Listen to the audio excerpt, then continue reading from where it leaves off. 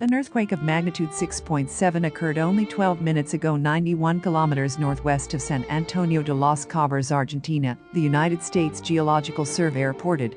The quake hit at an intermediate to considerable depth of 235 kilometers beneath the epicenter near San Antonio de los Cobres, Departamento de los Andes, Salta, Argentina, in the evening on Tuesday, May 10, 2022, at 8.06 p.m. local time.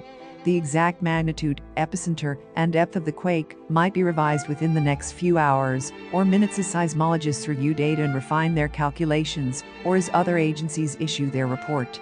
Our monitoring service identified a second report from Geoscience Australia, GeoAU, which listed the quake at magnitude 6.6.